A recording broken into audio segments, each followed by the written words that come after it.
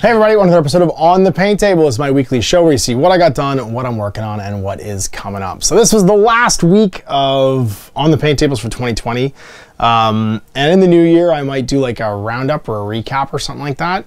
Uh, like getting close to, to the first of 2021 of like what I painted this year. I lost track though. Hey, I'll be honest, this was one of those years where like uh, previous years in the GMG resolutions page, I, I would like meticulously keep track of all the miniatures I painted. I was painting so many miniatures at home. I spent so much time at home this year, obviously, because of all the writing I was doing and of course COVID and all that stuff, that I kind of like, I was, I was painting more for pleasure this year than to get things done. And that was really good for me. And like not caring, like not sweating what I painted, I think was a good, a good like mental, um, thing. I, I know I can paint a lot of miniatures, so like for me to pledge I'm to paint X number of miniatures again this year was just like, it was additional stress layer in my painting I just didn't need. And so I just didn't care. So I think what I'm to do is I'm to show off uh, next week some of the highlights, like things I'm happiest with, or maybe things I enjoyed painting the most just in collections. Uh, I definitely painted in the range of like six to 800 miniatures this year. I know, I know I did. I just, I haven't kept track of which exactly ones they are. So I can't really pull them all down. But I do know ones I painted this year versus ones I painted the previous year. I'm gonna pull down some of my favorites and show them off, and we'll do like a recap of just some of what I painted, but I'm not gonna, I spent three hours pulling it out last year. I think I'm gonna do that this year. Um, so let's take a look at what I painted this week. I had a ton of stuff show up this week as well to start painting in 2021. Tons of new projects, way more Battletech stuff. Big thanks to the guys at Catalyst Game Labs. Um, a project kicked off. I had Nathan Caroland from um, Wyrd Games message me about getting back into Malifaux and all the new things they were doing, the Explorer Society, um, and they would be nice enough to send some stuff to Owen and Mike too, so that we can do some painting between now and when we start playing through lockdown. So I'll give you a look at that. Um, some really cool new stuff for Gamma Wolves. Uh, yeah, and I've got I've got my um, 1666, my Giga Robo stuff to work on too. Uh, tons of stuff for AOS I want to do for Realm Quest. Uh, yeah, I got a million, like I'm actually inspired for like a million painting projects right now, which is gonna be tons of fun. Um, but let's take a look at what, like, what got done the last of the year. What was my last models that I painted this year? And then um, take a look at what's coming. Here's my only model painted this week, the Fomoroid Crusher. Or as I call him, the Fomorian Krampus. Um, you saw him yesterday in my little GMG Christmas special, and I've been sitting on him for a bit. Um, for my Slaves to Darkness, but this is nice. It adds 100 points of Slaves to Darkness and some crazy like terrain crushing stuff too um, to the the slaves army that I have, and then uh, this beautiful model, of course, is a big bad guy um, villain in solo games of Warhammer Underworlds Shadespire, which of course you can check out yesterday. So I painted him just from a black primer. Um, I dry brushed him dark stone uh, from the um, uh, Army Painter range, uh, and then up through ash gray. Uh, I did all picked out all the metals, all the other colors, and then washed with strong tone, um, the leather and the red, like all the cloth and stuff, and all the metallics. And then went back and just picked out some highlights. Um, the scarification, the scars and stuff. I actually blended a little bit of orc blood and white into the ash gray to give it that kind of like purpley, raised, scarry blood sort of like tone and then the rocks have that green um, sort of like bent to them because I took the black or dark shade I think it's called from Army Painter and I mixed a little bit of green into it and then it with some water and then gave it that nice kind of mottled green effect. Basically you can save a bunch of time painting by starting a model off completely one color like gray and then just toning it differently with washes and layers um, and, and picking out the colors and making them slightly different. So I'm happy with him. Was, I mean, I did this in a night. It is like between wrapping presents, basically, uh, the other night, and he looks great, and he fits my army. And I managed to match all the colors I was using with my Slaves Darkness too, actually from that Army Painter line, which I thought was really handy. Um, I was I was the armor um, brass, armor brass, armor tone, armor metal, something like that. armor bronze, armor bronze maybe, um, is really similar to um, the the gold that I was using, the Auric gold uh, as is the, the highlight tone. So it's, it's a good match for the color scheme I was already doing, and I'm really happy with it. Lots of projects. Oh my gosh. Wow, just when I thought I was done, I'm back painting Battlemechs. I got a really, really kind care package from Catalyst Game Labs. Um, they're really happy with the just uh, the games that Owen and I are playing, and we look like we're having a lot of fun. So they sent along some of the Kickstarter stuff uh, for me to paint, and a clan army for Owen. So awesome. We don't have to share armies anymore. Um, he's going to be painting up a whole bunch of stuff, uh, and um, we'll be playing a whole bunch more of uh, Battletech going forward. And also, we're going to try out um, Classic Battletech or just Battletech. The original edition of Battletech, which we have the Total Warfare rules, and of course, because we have the beginner box, and I have the starter set from um, painting up all my Gray Death Legion. Uh, I have like the, the, the basically the, the, beginnings of a um, a nice big uh, uh, hex mat collection and uh, the rules to play like the original version of Battletech. I use a lot less models, so I don't have to really do any painting. I can just paint with what I play with what I have, um, and one can play with what he has. And then they sent along this, which is new, which is the Battle of Tukayid, I think it's pronounced. Don't even don't even ask me. Um, but this is a campaign book uh, for one of the major battles. It's almost like the Kursk of uh, one of the eras of um, what we call it? It's, uh, of um, the Battletech universe.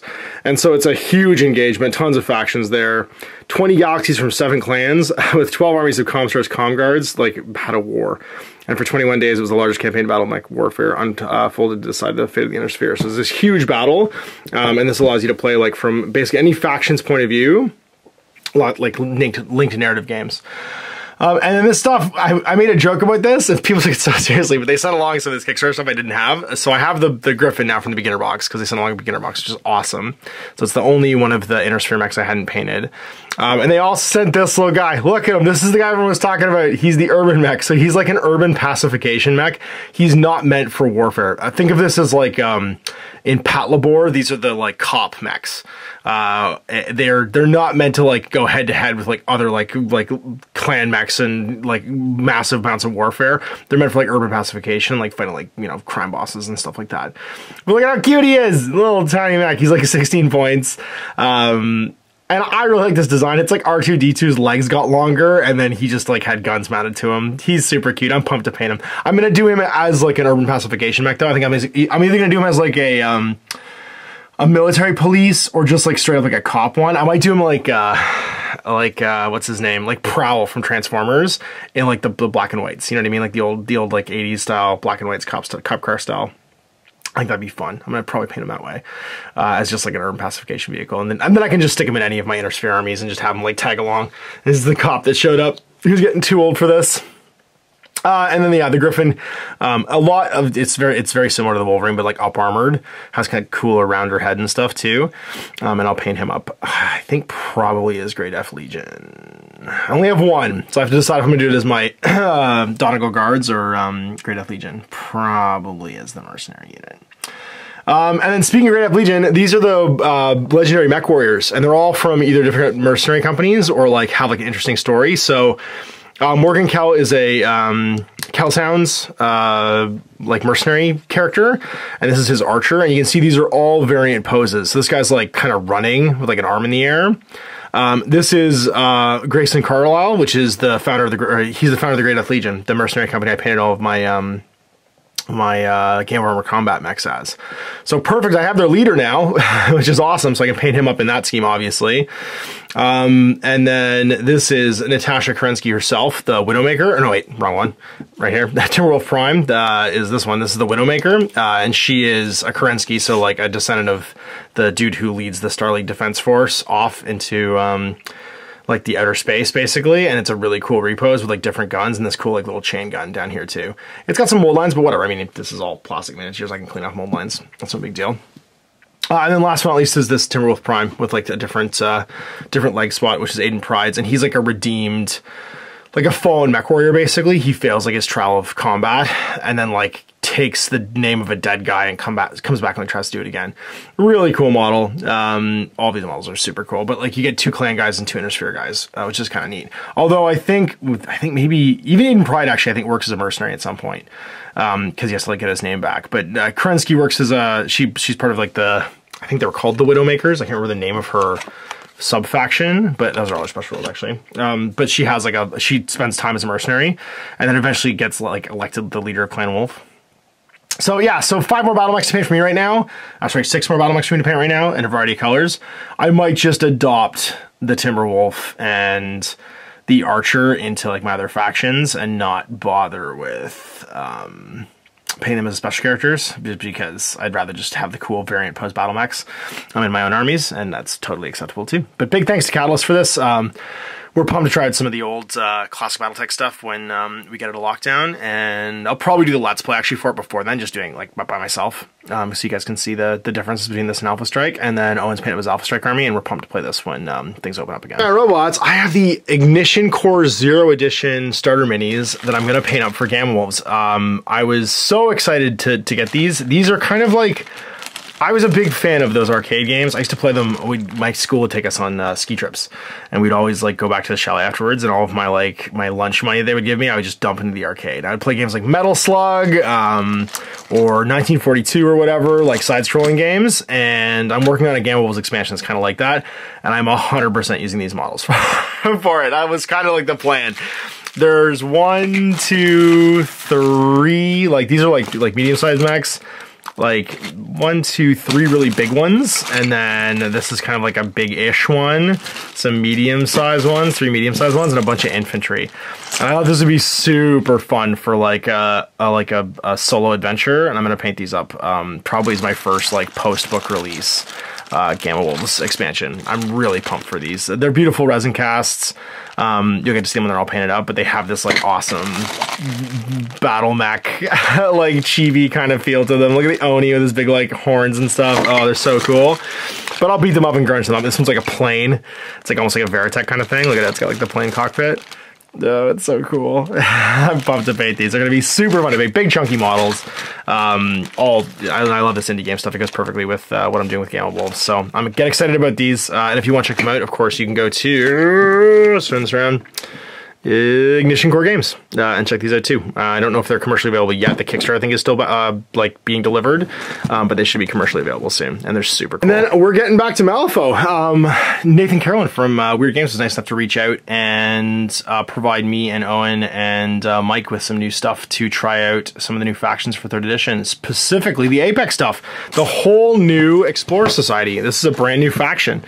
Um, I, am super excited about this. The Curious Adventurers basically all get together and have their own little like faction, uh, and it's a new faction from Malifaux. Uh, we played a bunch of third edition in the beginning. Me and Greg played it. I played some with Ben, um, but uh, Owen and uh, Mike hadn't gotten the new edition. They hadn't played really since second, since M2E, uh, so they're pumped for it. And um, Mike is going to be playing uh, the Bayou, and Owen is going to be playing Arcanists. Uh, so he's he's excited. He'll check out both their channels for some painting videos coming up. I'll be painting these stuff over the again the, the like lockdown break, um, and we'll start uh, we'll start getting back to some alpha because it's been a bit. Uh, but I love this new faction. This whole Explorer Society thing tickles my my cold Canadian heart. so I'm pumped to get it painted.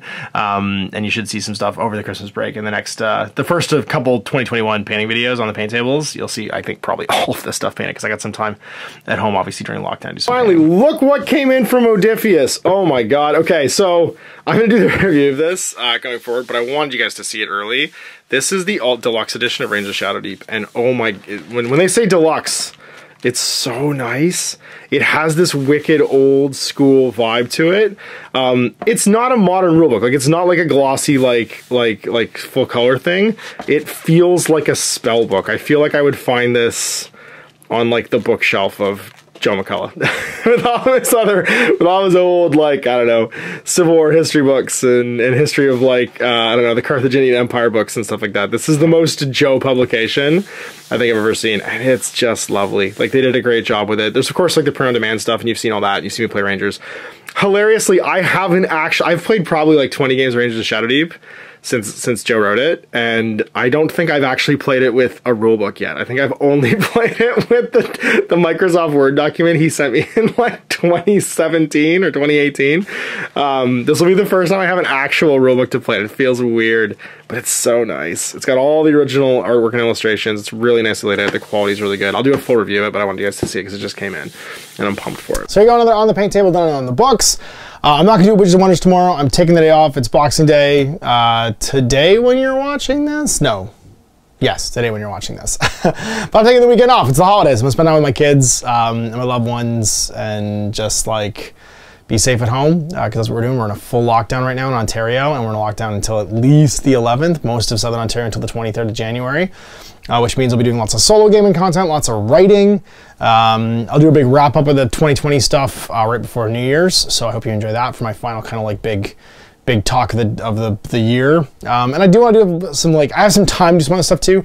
Probably some more live shows, sitting at home, like actually putting the camera on at home, and maybe do some lists, maybe do some best ofs, maybe hang out and do some best ofs. Tell me what you think we should do uh, for the last week. I got lots of time at home, and I'm, I'm thinking about doing some the things I want to do more of next year compared to 2020. And let's talk about it in the discussion, and maybe we'll do a big group chat and, and do a live show too. So anyway, big thanks for watching. We'll see you for more on the paint tables in 2021. Till then, I'm Ash. Have a great night. I hope you enjoyed that video. If you uh, want to support the channel, of course, like and subscribe and hit the little bell below to get notifications when I post future content. I do post stuff seven days a week. Uh, if you want to support the channel um, further, you can, of course, buy a t-shirt through Spreadshirt, um, buy a measuring gauge or objective markers from Death Ray Designs, um, or, of course, most importantly, there is Patreon. Patreon is what makes all this possible, uh, keeps the lights on, pays for the studio costs, pays for the equipment, model costs, and everything else, and most importantly, um, puts food in my kids' bellies and a roof over their heads. Uh, big thanks to everyone, past, future, who supported me. Uh, I do this stuff because of you guys, and of course, I will continue doing it as long as I can.